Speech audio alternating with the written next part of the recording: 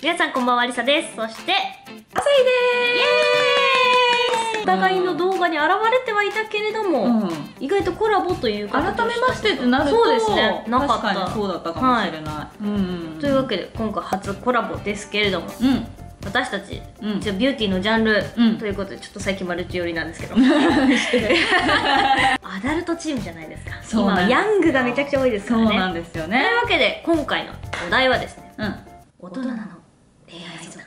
うーうーということにしてみました。あそれでですね「ハッシュタグ大人の恋愛事情」ということで、うんうんうんうん。私のツイッターの方でね、流しましたので、うん。そこから来た質問をピックアップしてるのがあるので結構いつもだと、あのバイト先の先輩と話したことなくて、うんうんこう好きなんですけどどうしたらいいですか行けよってやつね行けよって感じうんあとちょっなんですけどと背中を押してもらいたいってそういういう感じ,、感じかと思うんですけど、今日はそういうんじゃないですマジか。とヘビー級のおー気になる。人間の欲を表した 表したようなあの結構ガチめなやつアダルトな質問来てますので。なるほど。楽しみに。はいアダルトチーム答えていきたいと思います、よろしくお願いします、はい、では早速。あちょっと1個目はちょっとライトめなところから言ってもいいですか？うん。いつも言い寄ってくる人が彼女いたり私と他の女の子2人に声をかけてる人だったりダメ男ばっかりなんです、うん。どうしたらいい男をゲットできますか？というのと、うん。あと3ヶ月しか続いたことないので長続きの秘訣とかも教えてほしいです、長いとなりますとどれぐらいの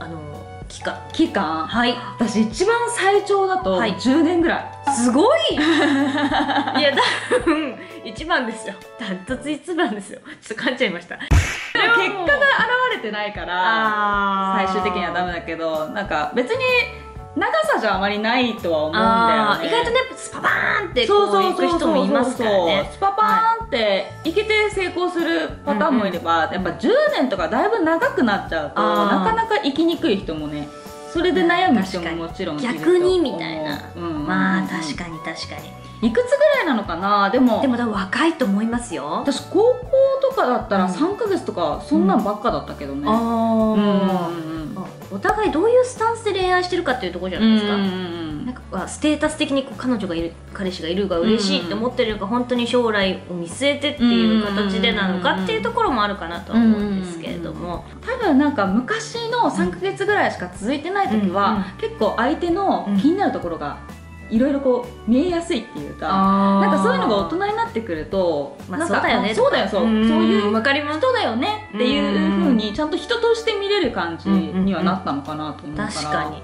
まあ年齢が上がっていけばそれなりにこう、うん。恋愛も大体の場合は進化していくんじゃないか、うんうんうんうん。今ね3ヶ月しか続いたことがないかもしれないということですが、うん。まあおいおいまたね全然大丈夫だと思う。大丈夫かと思いますということでしたので、うん。まあそんな感じでございます、うん。大丈夫です。大丈夫安心して。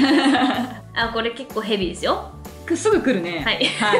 どうぞ。結婚したいと思う遠距離の彼氏がいますが、はい。恋愛感情が皆無で体の関係だけの人がいます。あただ性欲を満たしてるだけだけどやっぱり彼氏に良くないですよね。バレなきゃいいやって考え方はどう思いますか？本音や厳しいご意見を聞かせてください。結婚した人いるんだよね。いますね。でも別な人ってこと？ある程度長くてこう安心しきってるお互いにみたいな感じなんじゃないですか？この遠距離の彼氏の方は。なるほど。でも恋愛感情が皆無で結婚できますか？できない。私も無理です。できない。えすでにだって恋愛感情が皆無で結婚してあと何十年とかうん。いるって考えたらもうなんか苦痛なんですけど。なんかそれれでも結婚したいっていう気持ちは何なんだろう。何なんでしょうね。多分あの愛されてる実感があるってことなんじゃないですか？安心感を与えてくれる。うん。で多分あと結婚する条件として、まあ、うん。そこそこ稼いでるとか、うん。まあ、ルックスもとか、うん。まあ、家柄だったらなんだか知らないですけど、うん。そういうのが整っている条件を満たした人が今いるっていうことじゃないですか、えごめんちょっとよくわかんないけど、はい。これは結婚した人と別な人がいるってこと？そうです。セフレがいるってことです。なるほどねこの今回のこの大人の恋愛相談はめちゃくちゃこういう質問多かったんです。セフレどう思いますかとか。彼氏いるんですけどっていうのが多くてなんか昼顔的なことってマジ怒ってんだなみたいな感じになりましたね。うん。そういう質問なんですよ。大人なんで。どう思います？まあでもありあありありますよ。めっちゃ聞きますもん。聞く聞聞く聞く、うん。周りでもめっちゃ聞きますもん。聞くけど。まあでも一人で全てのことを満たすことは難しいっちゃ難しいんだと思いますよ、うん。多分。慣れっていうのは人間にはあるじゃない、ん。だからどんだけ好きで、うん。なんか感謝とかもしてても、うん。やっぱなんか物足りないみたいな、うんこうなんかそういう欲張りな生物じゃないですか、うんまあそういうまさに欲の塊、うん。人間らしい牛肉さん。牛肉さん。はいなんでしょう。ねそのまんまだね。そうなの肉肉肉食肉食ということで。ねアイコンが牛肉なんでしょうか。ちなみにこういう経験はございますか？まあもしそれを並行していくんだったら確実にその彼にバレないようにするっていうのはマナーかなっていう感じが遠距離だからそういうのが、うん。あバレにくい環境だっていうことだよね、うん。そうですね。だからこうなんか欲のままにう動いてしまう、うん。自分をどうにかしてっていうことだと思うんだけど、はい、なんか私的になんかまだ1対1のうちはいいんですけど、うん。子供とかが生まれてからやるのはどうかなって思います。それはダメ。それですよは絶対ダメ。ねそれはダメって思いますよね、うん。なのでまあいいんじゃないかっていうのは間違いかもしれないけれども、うんまあそういう時もああるよね。よね。人間って、うん。人間だもの三つということで、雑でした。ちょっと雑でした。三つおのせいにしたね三つお三つおのせいに。三つおほんとごめん。三つおごめんね。まあ彼にバレないようにうん、してください。うん、それがせめてもの優しさかとそうだね。はい、次行ってみましょう。なかなか仕事で会えない社会人1年目の彼氏が毎日 LINE で疲れたアピールをしてきます。あー。一応気を使って言葉をかけているのですが、うん。毎日疲れた疲れた言われるとこちらも気がめいってきてしまいます。うん。リサさんならどうやって対処しますか？これめっちゃわかるんですよ。私も同じ経験があります。うん。うん。どうした？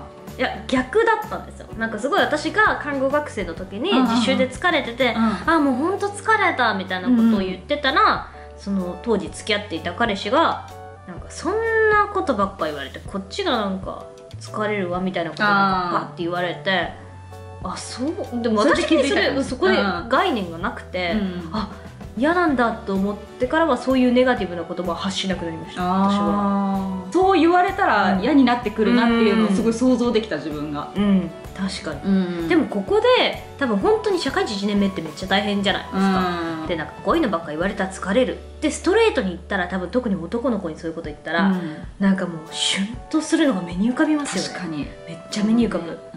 何がいいんでしょうねこういう時はでも一応ね頑張っていろいろうん。サポートしようとこの子はしてるから、頑張ってるそこはもう称えたい。うんたたえたい。さすがにね毎日しんどい。しんどいね。でもしんどいってその、うん。りさちゃんの元彼じゃないけど、うん。っていうのもなんかお互いがうまくこれから行きたいのであれば、それはそれで大切なのかなとはそうです思ったそれで気づいたそうそれで気づける人だだったら、うん。うんもっとより良い関係にはなりそうだけどね、うん。それか逆に疲れたアピールめっちゃする逆に？それ新しいです。かぶせ疲れた。疲そうかぶせ疲れた。れたの上を行く疲れ疲れた。って言ったら新しい。あ相手がのなんか気持ちがわかるかなと思もうなんかメンヘラカップルみたいになってましたよ完全に。お互いいないと無理なのみたいなそういう方向性に進んでいく可能性ないですから 大丈夫ですかね。そうだね。ちょっとメンヘラ感ありますけど。落ちちゃうね二人とも。落ちちゃうかもしれないですね。落ちちゃうね。まあ言い方に気をつけつつ伝えてみるっていうのはありなんじゃないですかうん伝えた方がいいと思う多分。なんかあんまりそういうのばっかり言われるのなんか私もしんどいから、うん。あれだなみたいなうん。感じで伝えてみてはいかがでしょうか、うん。そういうムードになると毎回彼が甘えてきます、うん。たまにはリードしてほしいのですがそれを伝えると悲しそうにするので 全言撤回してしまいます。いつも頑張っている人なので甘えてくれるのは嬉しいのですがここは菩薩になるしかない悲しそうにするのでっていうのが可愛いですかわいいい。浮かぶ。浮かぶわ浮かびますね。浮かぶ。スーってするんでしょうね浮かぶわ。分 ちょっと可愛いですけど。かわいいかわい。いでもなんかこの女の子の気持ちもすごくわかります、私はどっちかっていうとリードしてほしいなと思うので、どうですかね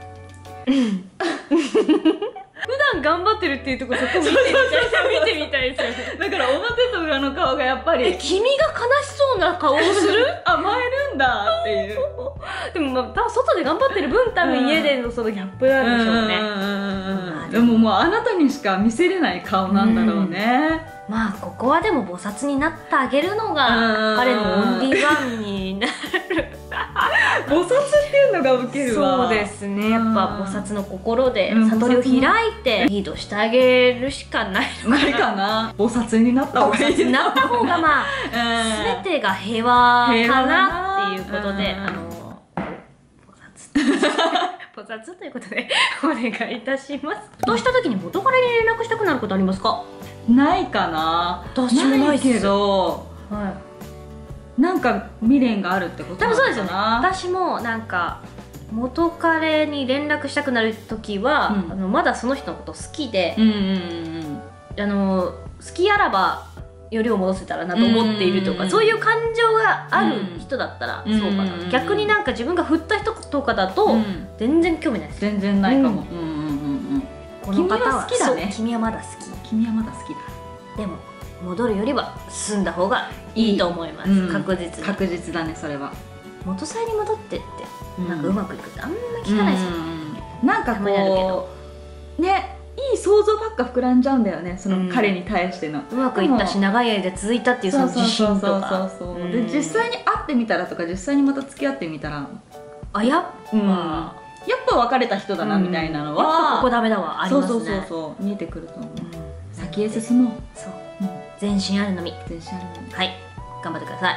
お互い好きなのに付き付き合えないって何ですか？付き合うと彼女優先などと責任持たないとダメだから嫌。みたいな？え別に常に優先されたいなんてないのに付き合って一番近い存在で見守れたら嬉しいだけなのにどう思います？でもこれとかちょっと分かります、うん。なんか最初の部分が一番大事なとこだと思うんですけど、うん。なんかお互い好きなのに付き合えないってなんか聞きません？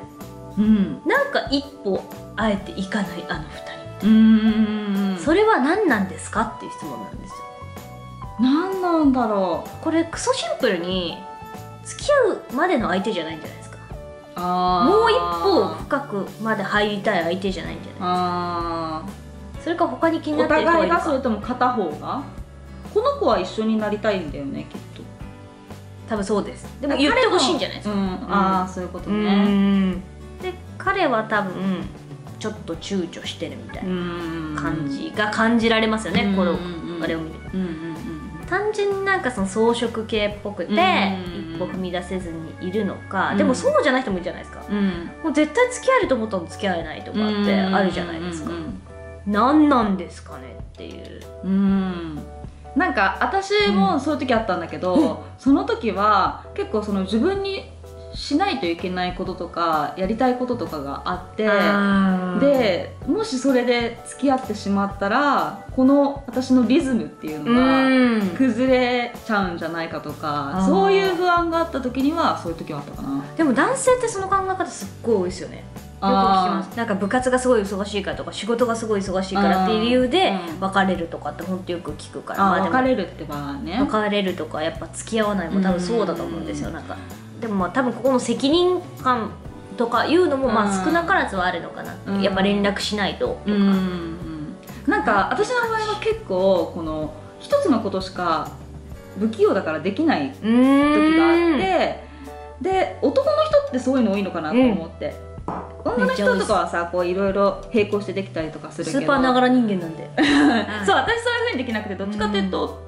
そういうところはなんか男っぽい部分があるからやっぱ一個のことしか見れなかったりとかするんじゃなあータイミングなんですかね。うん。もしかしたらタイミングいかもしれない。うん。どうしてもその彼と付き合いたいんだったらちょっとあの様子を見てうん。